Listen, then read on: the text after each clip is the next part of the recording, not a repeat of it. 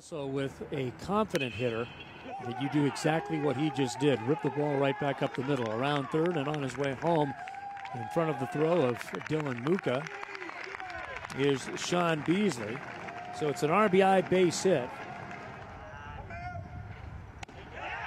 And that's ball four. So he walks in a run, his third consecutive base on balls. An RBI for Muka. Here. Looping curveball right back up the middle. One run is going to score. Make it two as the ball gets kicked around by Beasley in center. And then scoring on the play is Ryan Sabo.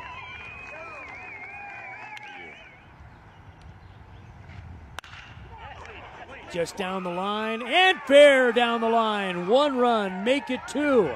Runner coming to third, sliding in front of the throw and into double. A big two run double off the bat of Tyler Rolland. And a 5 to 1 Southern Illinois lead. Into center field, and this should do it. The squeeze by Dylan Muka, and Southern Illinois has come back from being shut out yesterday by Missouri State and has sent Illinois State packing.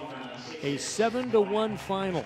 And Illinois State's season ends dead even at 27 and 27. Uh, it was working well. Looked like changeup was pretty. The changeup's pretty good, yeah, and you know stayed in the zone for the most part and uh, stayed stayed down, and defense played well as it, as it normally does, and so uh, yeah, I thought we pitched well all day. Selby come in and did a great job uh, throwing strikes and uh, letting his defense help him, and so and Nedemeyer comes in and does a great job. So I, I thought we pitched well all day.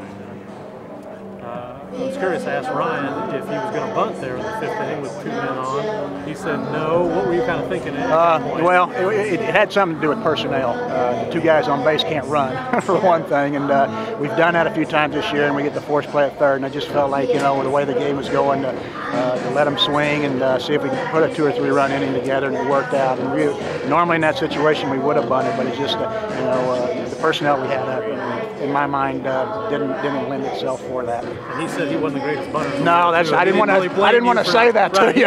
I didn't want to throw him under the bus, but yeah, he's he's not done a great job in that role all year. And uh, uh, again, and that was part of the personnel. Sure. You know, he, him bunting, and then the two. You know, I think Blackfan and Hutchins were on, and they, they obviously don't run well. Right. So uh, that was my thinking, and uh, worked out for worked us. Out, yeah. Uh, okay, yeah. How much of you know you get in a tournament like this? How much of it is just a mindset? Your kids want to be here and want to play, and it looks like they do. Well, I tell you what, this is I have to tell people all year long. Our kids, not not surprised. We have never quit uh, through everything that we've gone through this year, and, and uh, losses. Our kids have never ever quit. Our effort is good every day, and they show up to play. And you know even right down to the last game of the regular season and coming into the tournament, I have no no doubts that they will show up and play every day. They've done it all year, and uh, you know that's just uh, I love these kids, man. That's the beauty of it.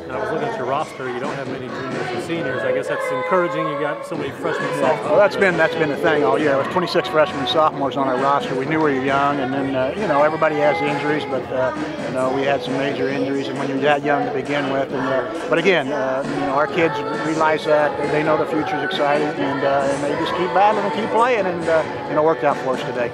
Who do you have to throw tomorrow? Well, either be Primer or Holdeman.